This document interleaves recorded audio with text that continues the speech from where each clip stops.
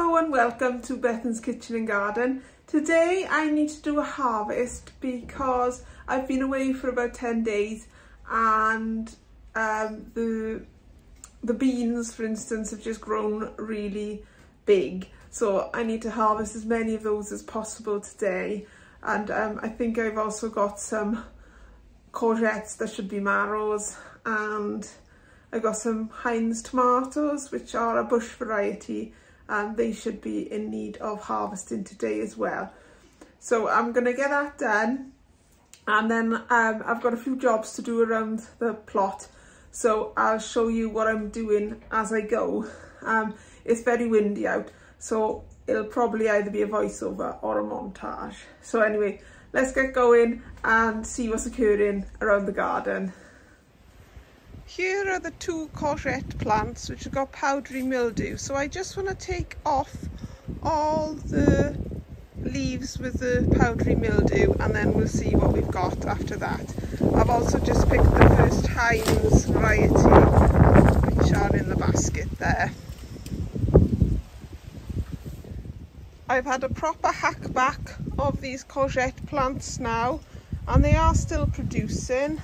There is um, one growing there and there's a couple growing the other plant. And uh, it also means that more air can get to the tomatoes now. Uh, but they are looking pretty sorry for themselves. The weight of the branches are just pulling the the stems over. So I can't do anything with that now because if I touch the branches they'll, they'll just snap. So we'll just get whatever we get off those and um, this is what I ended up with two massive marrows and two small courgettes and then when I was in this area I thought oh I might as well take out all the beets that were here because they were ready to come out so got a nice little harvest of the beetroot. And over here were the onions. And these, well, they haven't grown very big. They should be a lot bigger than that. But um, I think they were shaded out a lot with the um, uh, with the courgette plants. So there's probably a few in there for pickling or um, roasted whole. And uh, that's my second tub of um, uh, compost essentially, um, greens to go in the compost. I just need to pick up the rest of those apples. So let's go and have a look at something else.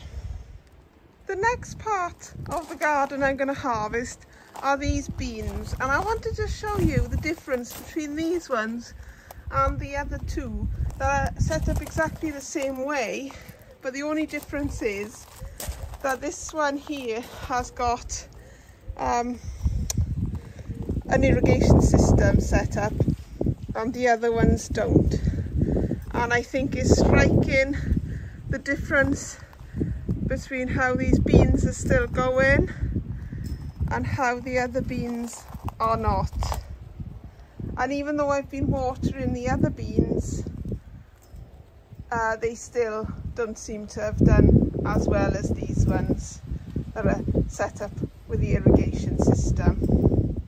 Here is the harvest so far. I've got the onions and beetroot from those side beds. These are the beans from the planter, the square planter. The two courgettes, the Heinz tomatoes.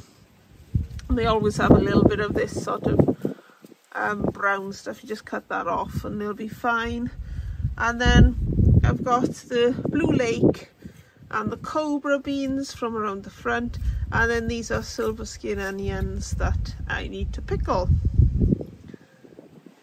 So I'm over by my other squash plants now and similarly these have got um, powdery mildew on their leaves. So I'm going to take all the powdery mildew off and see what we've got left underneath and I did notice the other day that I've got a little butternut squash growing there so I'm just going to take off the rest of this trailing vine because I want all the energy to go into growing that little squash. I've done rather a drastic chop on the squash on this courgette plant as well. There is still a courgette growing on here. There's, uh, there's one there. If it ever focuses. Oh, there we are. Right. So there's one there. And then there's these two Crown Prince. I don't really need any more than there than them. And there's this one butternut squash, which is a bit disappointing because um, I use butternut squash more. But um, as I was over in that area there, I decided to take out a corn kernel, to, corn kernel, corn cob to see if the kernels were any good. And they look ripe. They look ready because um, if I pierce one which is not piercing now um, sort of milky sap will come out. Don't know if that's picking up but um, it did anyway. So they are ready now for harvesting. So we'll work our way through that this week and then once all those ones are eaten out the way or um, frozen out the way, I can clear that area and get something planted for the winter. My next job now is to harvest these beans because there are a few runner beans on here. We really have to go hunting for them, uh, which is what I'm going to do. And there's also some beans. French beans around here as well. So I shall get them.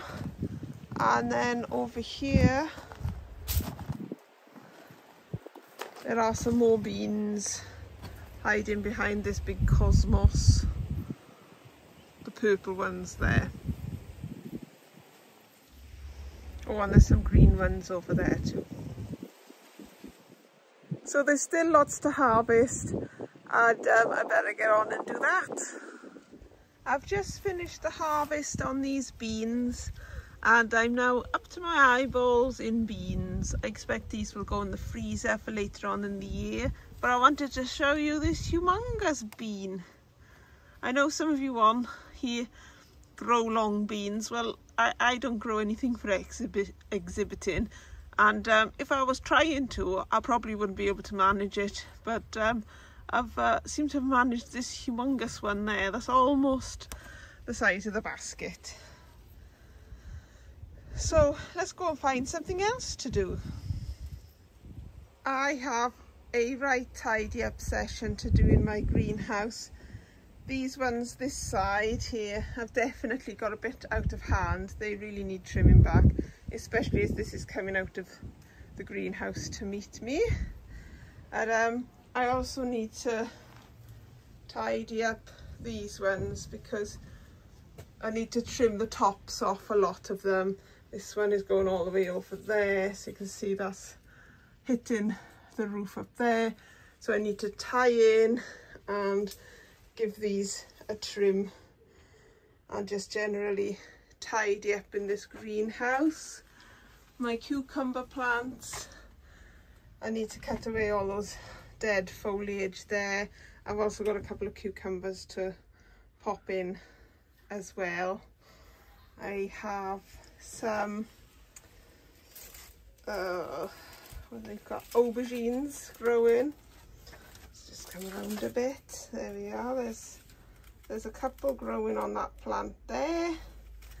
And when I was hunting the other day, see if I can move everything out the way without breaking things. Right down there is a watermelon.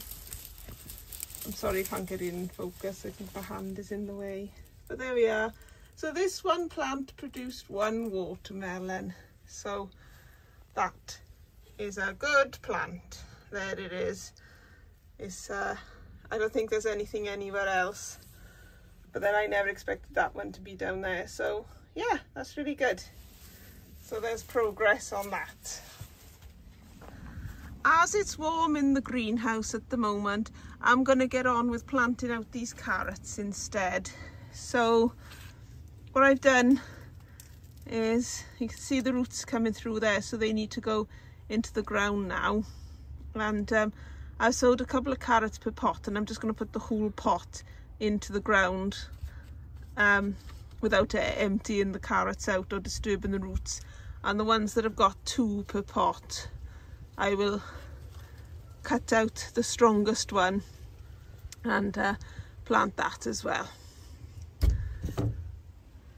I've also got these cucumber plants that I just mentioned. Uh, two of them are going around the front and one is going in the greenhouse.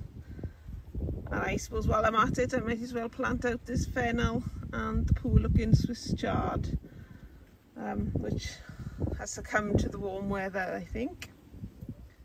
Here is my carrot and leek bed which I cover over with Enviromesh and this end here had poor germination so that's where I'm going to put the carrots in pots.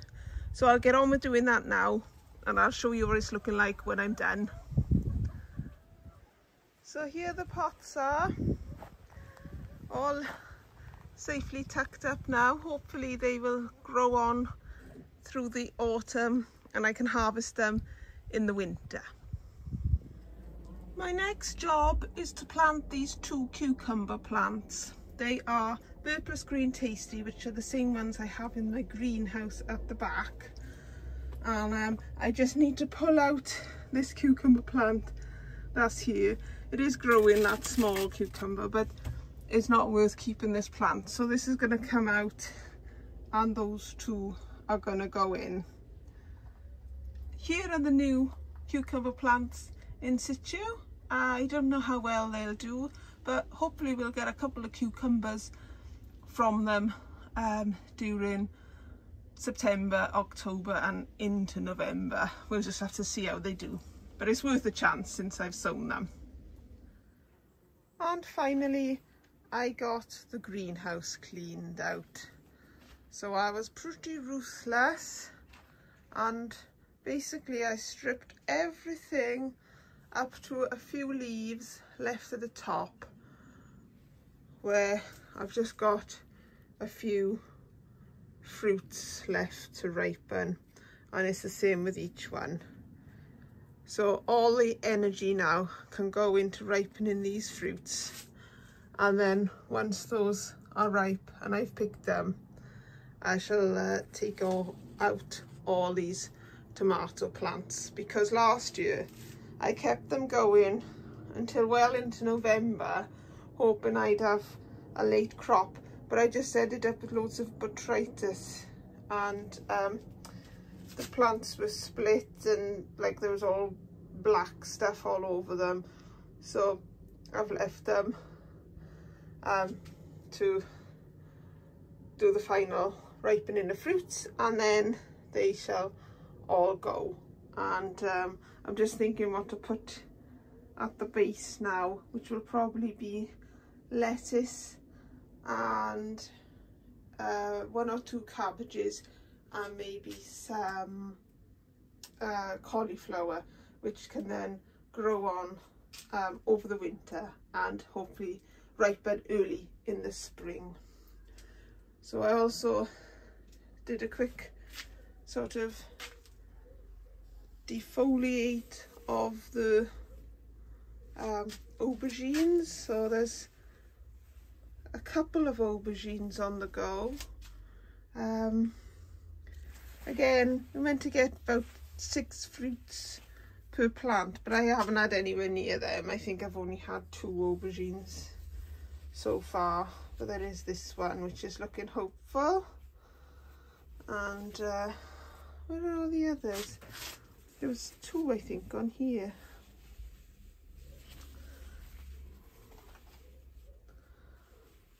There's another couple somewhere. I also planted this cucumber white pickle, which is like a small gherkin, which I presume is white coloured. So we'll see how well that goes over this month and next month. I've got these cucumber plants which um, still producing very small amount but hopefully uh, they will keep producing until the two new ones around the front kick in. And then like I showed you earlier right in that corner there is the watermelon which is probably ready for harvesting soon. And here is the final harvest for this week as well I showed you the basket earlier with the beans and the runner beans in, but since then I have harvested some carrots and leeks while I was in that bed planting the new carrots. And these are Marmande tomatoes, Gardener's Delight and Rosella from the greenhouse. So they are coming a bit to the end now, but still producing, which is great. So that's it from me for today. Thank you for watching. I'm really pleased I got all that tidying up done. Um, where the weather has been so warm over this summer, I feel a bit disconnected with the garden as it were because I've just been coming out watering and harvesting but not really doing much. So it was really nice to get into the places and just tidy up a little bit. I've still got far more tidying to do and behind me there are some cabbages and uh, other brassicas. So I'll be planting them out next time. So if you join me then you can see what I have going on. So thank you for watching and liking subscribing and commenting if you have done so. I really do appreciate it. And all I can say about my work around the plot today is lovely job and take care everybody